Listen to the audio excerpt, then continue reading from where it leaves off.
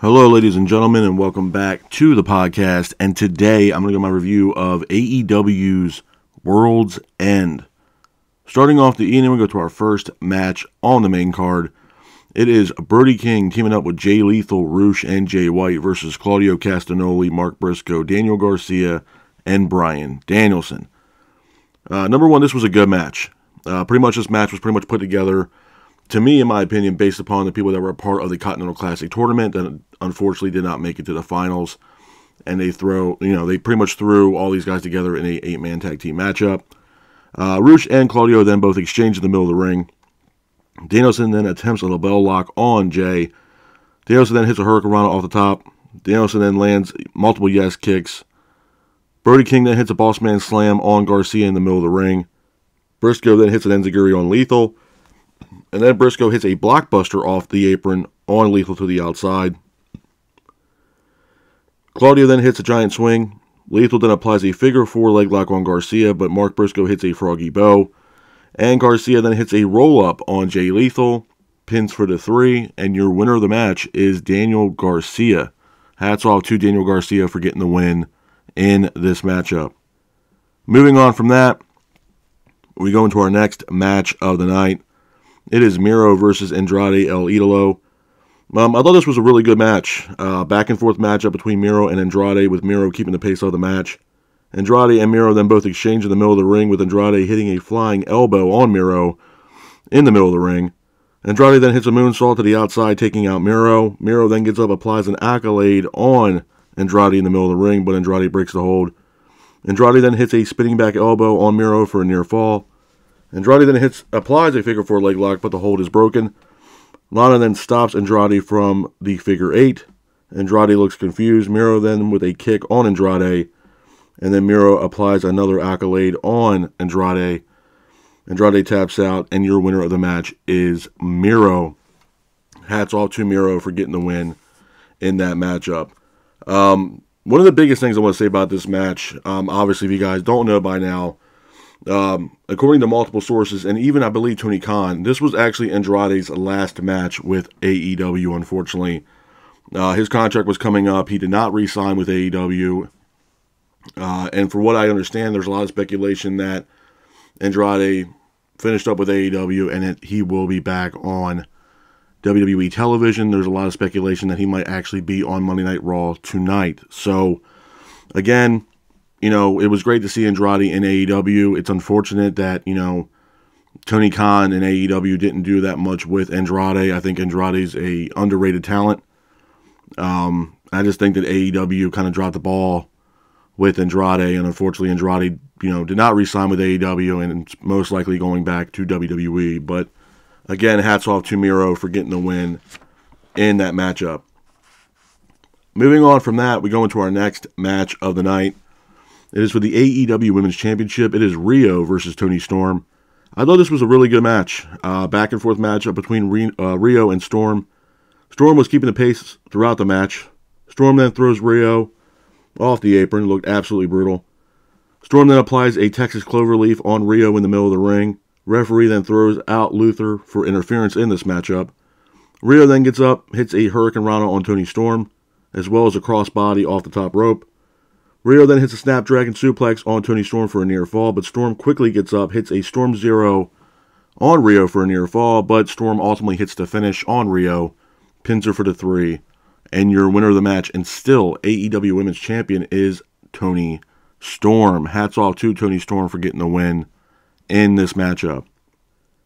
Moving on from that, we go into our next match of the night. It is Swerve versus Dustin Rhodes. Now, there was a lot of things going on about this match. Uh, originally, it was supposed to be Swerve versus Keith Lee. Unfortunately, pretty much the day, the, day of the event, Keith Lee was actually not medically cleared uh, to wrestle Swerve. Supposedly, uh, Keith Lee has been dealing with injury since 2022, uh, and he was finally not medically cleared to have this match against Swerve at World's End. So Dustin Rhodes was kind of a filler for this match against Swerve. Uh, the match itself, it was an okay match um, at best. Uh, Swerve was pretty much keeping the pace throughout the entire match. Uh, Prince Nana brings out a cinder block. Swerve then hits a foot stomp on Dustin Rhodes using the cinder block. Dustin Rhodes looked like he's injured his foot or ankle.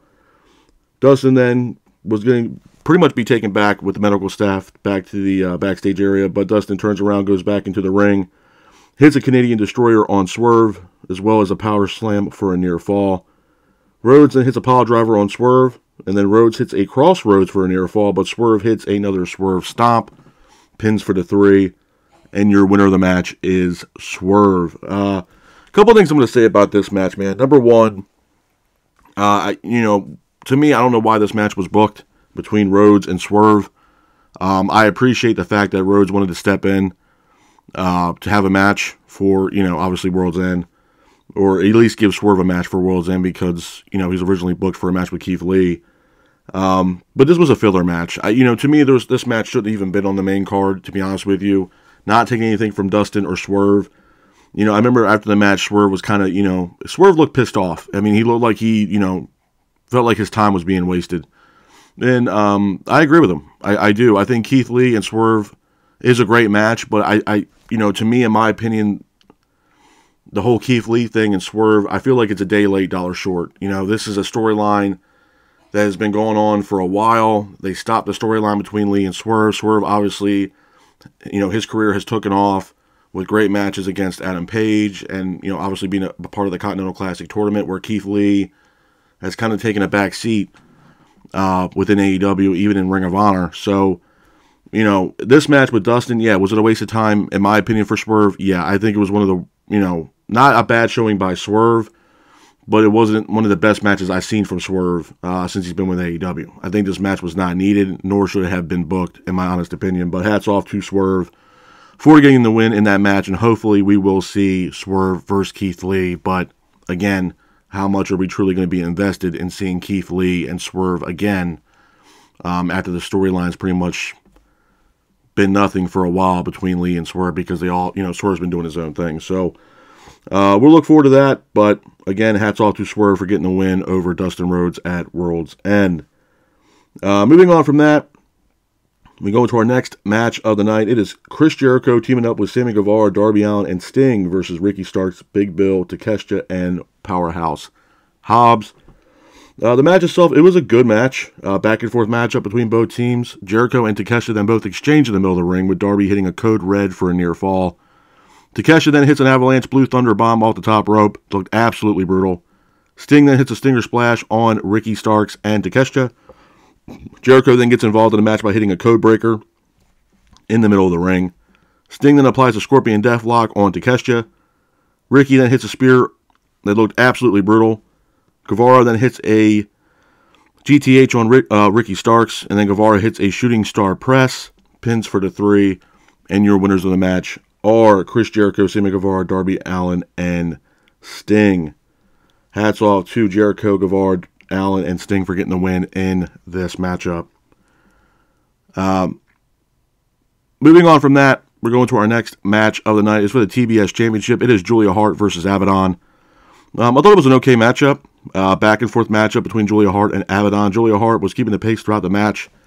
Skye Blue gets involved by attacking Abaddon. The referee was distracted, which allowed Julia Hart to hit the moonsault off the top rope on Abaddon, pins her for the three, and your winner of the match and still TBS champion is Julia Hart. Hats off to Julia Hart for getting the win in that matchup and retaining the TBS championship.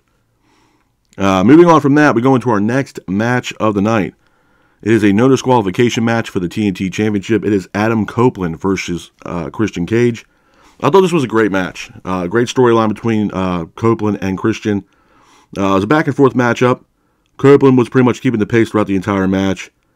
Uh, Christian then hits Adam with a kendo stick. Copeland then pulls out a ladder. Crowd goes crazy. Chants TLC. Christian then hits a sunset flip power bomb on Copeland for a near fall. Christian then brings out a table. Copeland then hits an impaler on Christian with a chair.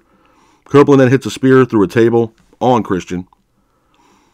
Copeland, uh, Wayne, Nick Wayne then attacks Copeland. Christian then hits a kill switch on Copeland for a near fall. Christian then sets the table on fire. Copeland then power bombs Nick Wayne through the table, which he actually had to reignite because the original flame that Christian had set the, the table on actually went out. So Copeland set the, t- uh, the, the, table back on fire, hit a devastating power bomb on Nick Wayne, even though the table did not break. Copeland then hits a kill switch on Christian, pins him for the three, and your winner of the match and new TNT champion is Adam Copeland. After that, kill switch is here, aka Luchasaurus. Kill switch then hits a choke slam on Copeland. Kill switch then goes for uh, gives Christian his TNT opportunity that he won uh, prior to the main card. He actually was a winner of the 20 man battle royal, and the winner of that battle royal will, will receive an opportunity against the TNT champion anytime, any place. Uh, Christian pretty much argues with Killswitch. Uh, Killswitch gives uh, Christian his TNT opportunity. Christian then cashes in. Christian quickly hits a spear on Copeland, pins him for the three, and your winner of the match and new TNT champion is Christian Cage. Christian Cage is now the new TNT champion. Moving on from that, we go into our next match of the night. It is the Continental Classic Finals. It is Eddie Kingston versus Jon Moxley for the Triple Crown, the New Japan Strong Openweight Champion, and the Ring of Honor World Championship, as well as the Continental Championship, is all on the line in this matchup. Uh, the match itself was a great match, uh, great momentum for Eddie Kingston. Back and forth matchup between Kingston and Moxley. Kingston and Moxley then both exchange. Kingston then hits an enziguri on Mox. Moxley then hits a pile driver for a near fall on Kingston. Kingston then gets up, hits an exploder suplex on Moxley. Kingston then hits a Northern Light bomb on Moxley for a near fall, but then Eddie Kingston hits a spinning back fist on Jon Moxley, pins him for the three, and your winner of the match and the winner of the Continental Classic tournament is Eddie Kingston. Now he is the Triple Crown champion, and hats off to Eddie Kingston for getting the win in that match. Uh, moving on from that, we go into our next match of the night. It is the main event of World's End. It is MJF defending the AEW World Championship against Samoa Joe. Uh, number one, the intro that was for MJF was absolutely awesome. Uh, MJF then brings out Adam Cole for this matchup. He is ringside. Uh, the match itself was a really good match, uh, back and forth matchup between MJF and Joe. Joe was keeping the pace throughout the match. Joe then hits an enziguri on MJF as well as a mustard, uh, muscle mustard muscle buster off the apron. MJF then hits a uh, heat seeker on Joe for a near fall. Referee is down. MJF then is looking for the Dynamite Diamond ring. Cole said he doesn't have it. Joe then applies a submission hold on MJF. And then the referee sounds for the bell, and your winner of the match and new AEW World Champion is Samoa Joe. After that, the henchmen surround the ring. Henchmen then attack MJF and Cole. The lights go out. And then Cole is shown sitting in a chair surrounded by the henchmen. Cole reveals to MJF that he is the devil. He reaches into his jacket, pulls out the devil's mask, and after that, the henchmen unmask themselves. And the henchmen are none other than Roderick Strong, Mike Bennett, Matt Taven, and Wardlow. Big shocker to a lot of people that Cole was the person behind the devil's mask. Couple things I want to say about Wardlow, man. Let's start with Adam Cole. Adam Cole, this was something I mentioned now for quite a while, multiple weeks, month now, and I was right. You know, to me, the storyline fit perfectly with you know Adam Cole being the person behind the Devil's Mask. I mean, the name of the pay per view just fit. World's End. You know, MJF's World's coming to an end. He's going to lose the Triple B. He's going to realize that his best friend, his bro Chacho, Adam Cole, is going to turn his back on MJF, and Cole is going to be now the one of the biggest heels in AEW. Um, now, I will say this as well. Was it kind of something that, you know, as you watch the weeks on in with the storyline with the Devil's Mask, you can kind of start to see who the person's, you know, who the people might be behind the Devil's Henchmen, uh, with being Roddy, Taven, Bennett, and Wardlow. Speaking of Wardlow, I mentioned multiple things about Wardlow. You know, Wardlow to me was on the short track list to WWE. I, I still still have a belief that Wardlow will eventually join WWE at some point. Uh, with Wardlow being a part of the Devil's Henchmen, I think this kind of saves Wardlow's career. In my honest opinion, look, if you're a Wardlow fan, I'm just trying to keep it uh, real with y'all, man. I think Wardlow, this is the best for his career right now to be a part of this stable, a part of the storyline with you know the Devil's Henchmen and uh, Adam Cole. I think you know this really does save Wardlow's career.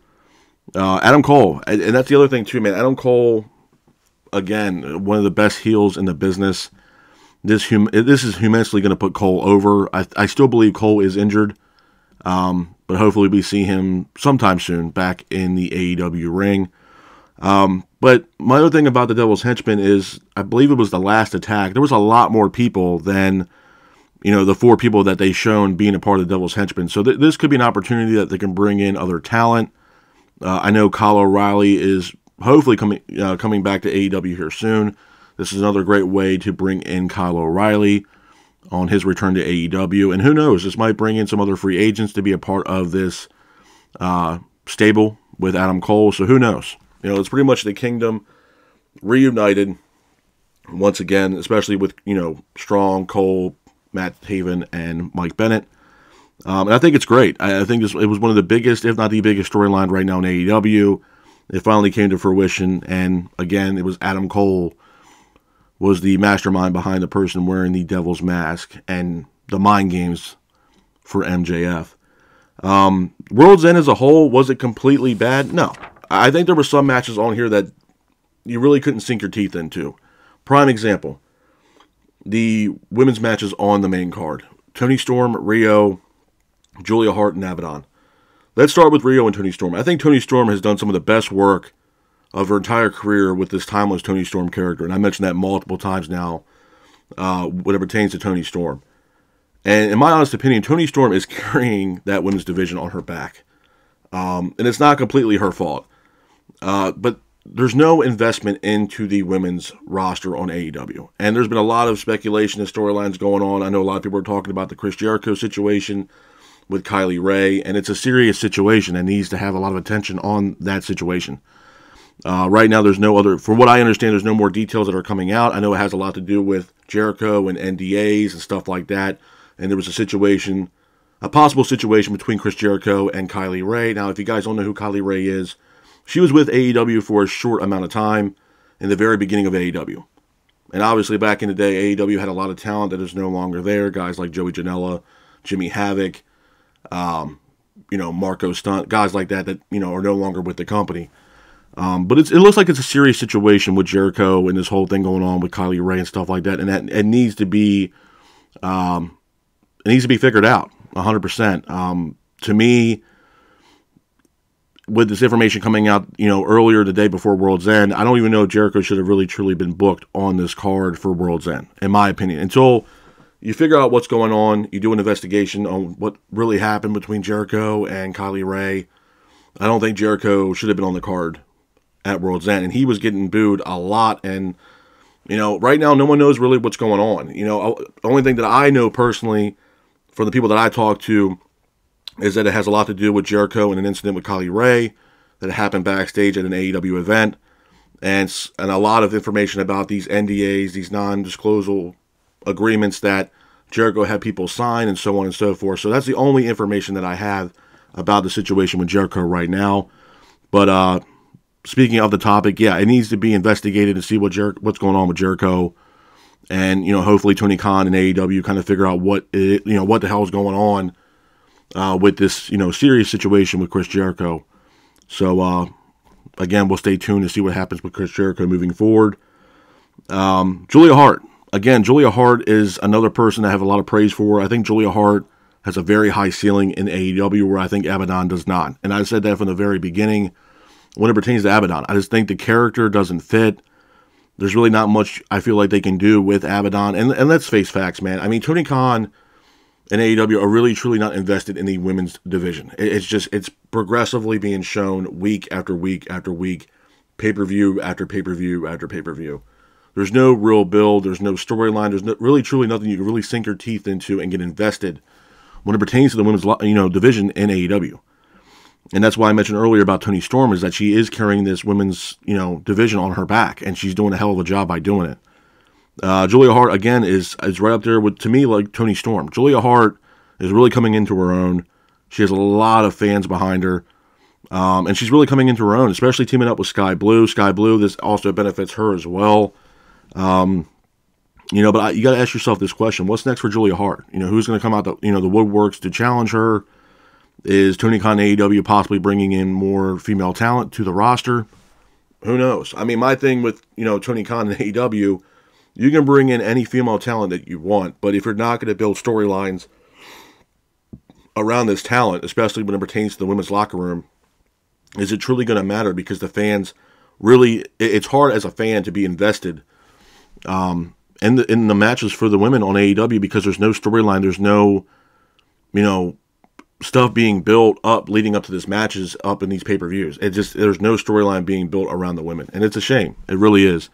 Uh, because Toni Storm, like I said, has done some of her best work in her career being timeless Toni Storm. Julia Hart's doing a fantastic job carrying the TBS championship. You know, and there's a lot of women on AEW right now that deserve to have storylines. Britt Baker's another one. Britt Baker's been on TV for a while. Uh, Kris Statlander needs, you know, storylines, stuff like that. Willow Nightingale, she's doing a fantastic job.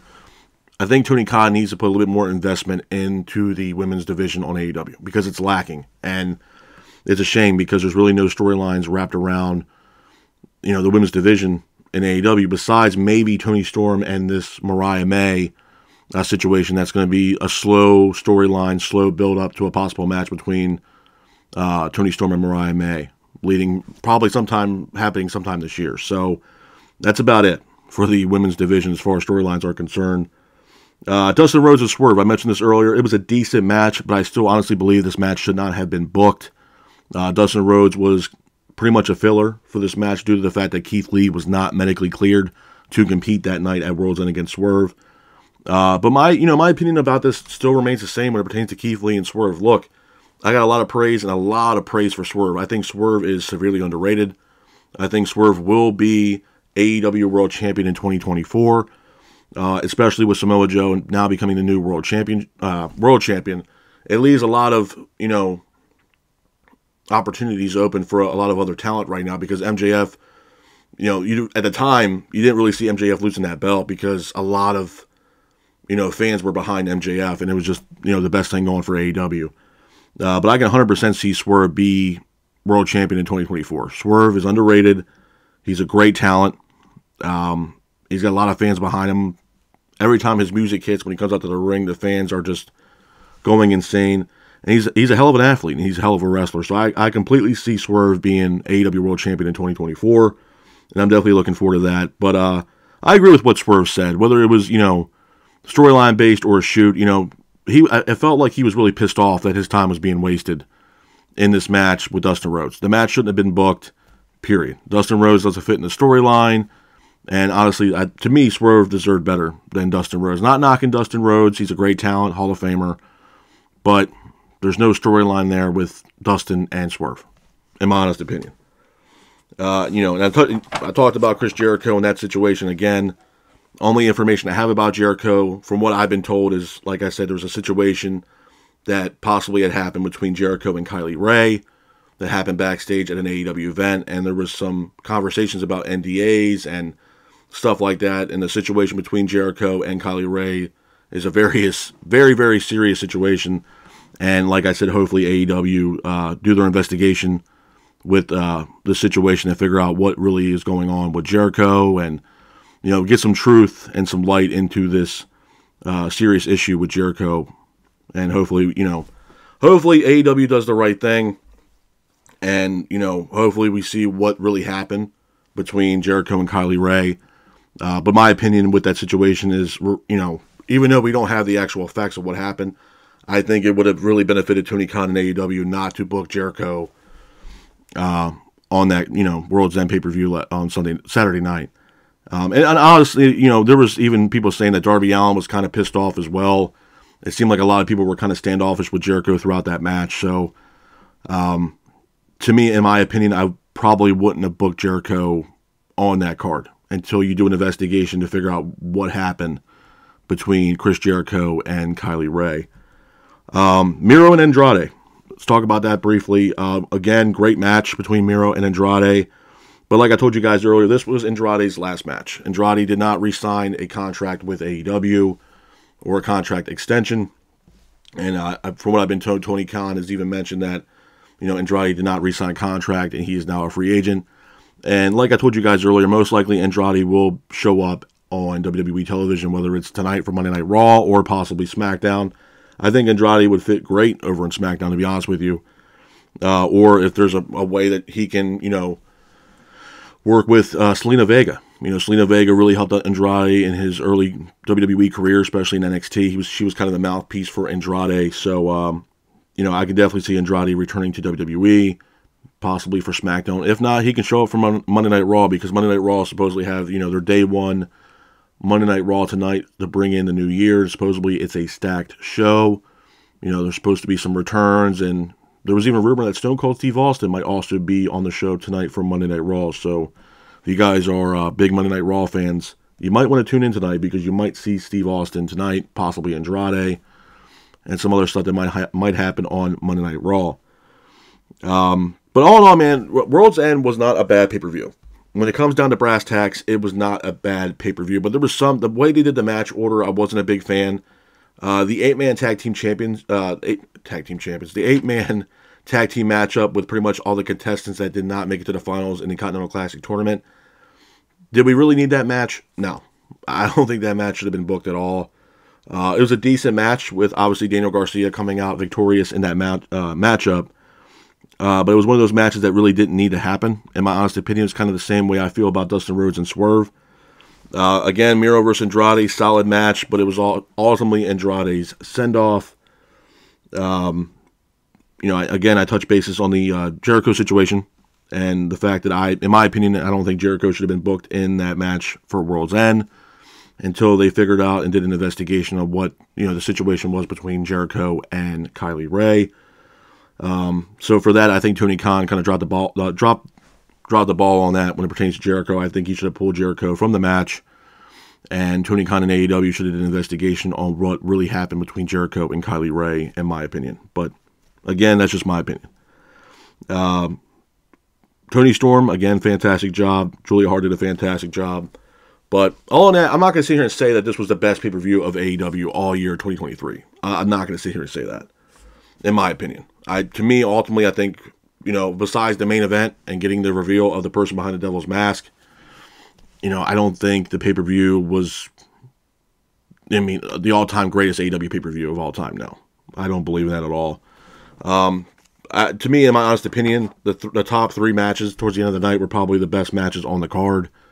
Um, again, happy for Eddie Kingston. You know, Eddie Kingston, this whole Continental Classic tournament, man, he was facing adversity, especially due to the fact that he was putting up his uh, championship belts on the line in this tournament to crown uh, a triple crown champion, and uh, he ended up pulling it uh, pulling it off and uh, you know retaining his New Japan Strong Openweight Championship as well as the Ring of Honor World Championship, and now the Continental Champion as well. Eddie Kingston is now a Triple Crown Champion, which is absolutely awesome. Well deserved for Eddie Kingston, and uh, sky's the limit for Eddie Kingston. And I hope, hopefully, we see what happens next with Kingston. Man, who's he going to defend that Continental Classic Championship against, or all three belts for that matter? Uh, and obviously, you know, Adam Cole. Adam Cole was a big part of World's End. And like I told you guys now for about a month now, that my opinion, the devil was Adam Cole, and I was 100% correct. This just fit the storyline, and then we get the reveal of the devil's henchmen being Roderick Strong, Mike Bennett, Matt Taven, and Wardlow. So definitely look forward to what's going to happen next with Cole and how the storyline might, you know, fold out with him and MJF. I know a lot of people right now as well. It was kind of speculated and rumored that MJF is not a part of AEW's roster page. I got that information this morning as well when I woke up this morning. Um, and I wanted to talk briefly about that situation as well. At the end of the day, man, I think, and I mentioned this before when MJF was, you know, supposed to be hitting the free agent market. Uh, I'll just say this: Do I think I'd be very surprised if MJF walks away from AEW? I think secretly he had signed a contract extension with Tony Khan um, behind closed doors. And uh, if he didn't, mirac- if, if Tony Khan mirac- miraculously did not sign MJF to a contract extension or a new contract, uh, it's probably one of the biggest mistakes uh, Tony Khan's ever done. You can't have a guy like that or afford a guy like that to walk away from your company because it could cripple that company. Guys like that, you know, yeah, for what MJF's done, especially in 2023, you can't afford to lose a guy like that. Um, so I think it's something where they're going into the new year. Maybe it's storyline based leading into maybe this week's Dynamite, where MJF shows up and says that he re signed. I know MJF is looking for some time off. I know he was injured even in the match against Samoa Joe. And obviously, MJF needs some time off and well deserved. I mean, MJF has really, you know, done a lot of work with AEW in 2023, and obviously, you know, having this injury and not really taking time off to heal this injury. Um, you know, I just think it's time that he takes some time off. Um, but again, who knows, man? I mean, that's the, that's the crazy thing about professional wrestling. I know a lot of free agents are free agents currently right now. Uh, I think Okada's a free agent, or at least his free agency is going to begin here soon. Uh, obviously, the free agents that were released from WWE. So there's a lot of things going on going into obviously the new year, especially when it pertains to free agents. So who knows? You know, there's also Alex uh, Alexander Hammerstone from MLW. Supposedly he's a free agent as well. Again, who knows where he's going to show up? Whether it's TNA, AEW, WWE. You know, and that's one of the craziest things about pro wrestling, man. You never know who's going to show up, where, or when. So and obviously one of the biggest free agents right now with Mercedes Moné. Where would she show up? Will she show up back in WWE, or would she show up in AEW? Who knows? You know, but all in all, though, World's End solid event. Uh, again, I didn't really like the pace of the matches leading up to the three matches towards the end of the night. Um, do I think it was the best AEW pay per view of all time? No, but it damn sure was not the worst. Um, and again, there's a lot of things to look forward to, man. What is Adam Cole going to say next now that he has revealed himself as the devil or the person behind the devil's mask? Uh, what would the henchman say as well? And uh, what's next for Samoa Joe? Who will he defend that championship against for his first title defense with now being the new AEW World Champion? But with that being said, man, I'm going to head out of here. This is my review of AEW's World's End. I hope you guys are out there staying safe. Be careful and remember, Stay classic. Peace.